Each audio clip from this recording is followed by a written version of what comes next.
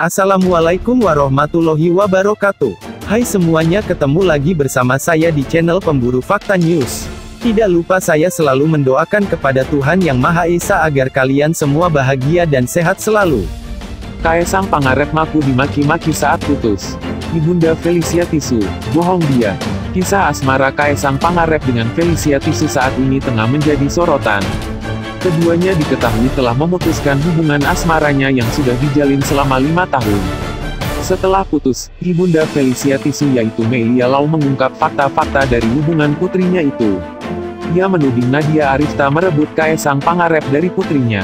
Kaisang Pangarep sendiri telah buka suara terkait isu yang sedang ramai ini.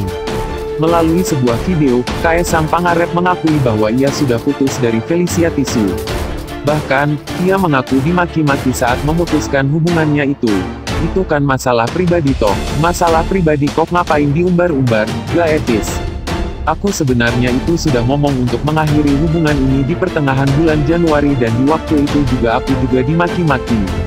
Tapi ya wes lah aku diem aja, kata Kaisang Pangarep.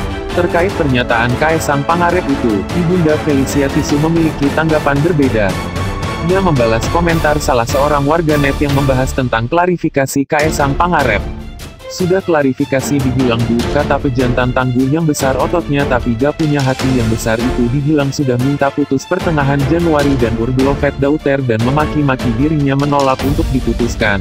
Sang pisang itu di video itu dia pasrah saja, tulis et 454. Melia Lau mengatakan bahwa Kaisang Pangarep berbohong. Malahan, dia mengatakan memiliki beberapa bukti.